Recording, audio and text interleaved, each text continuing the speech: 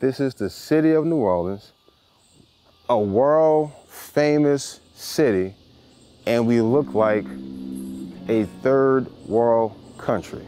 Just, just take a look.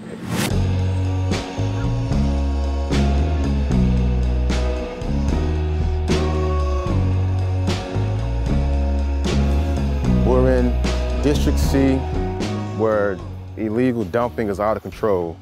You can see box springs, mattresses, sofas, love seats, tires, concrete, just, just anything, televisions. Again, the city pushes everything to the side, but it's time to stop pushing everything to the side to the back burner. Time to start taking some action. We have families, family homes down the street. We have a new police station being built a couple blocks up the street. And look at this. This, this is inexcusable.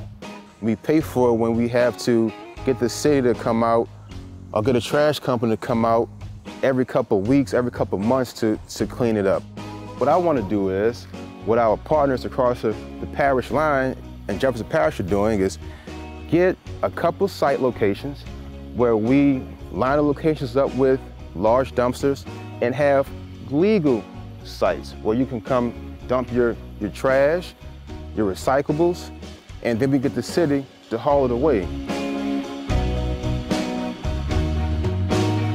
When people see a street lined up with blight on both sides, it gives that image, it gives that, that mindset that anything goes here.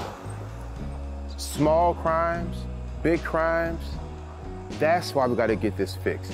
Because no one in 2021 in New Orleans, in District C, should have to look at this at all, ever again.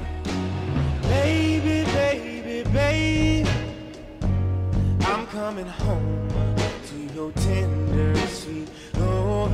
You're my one and only.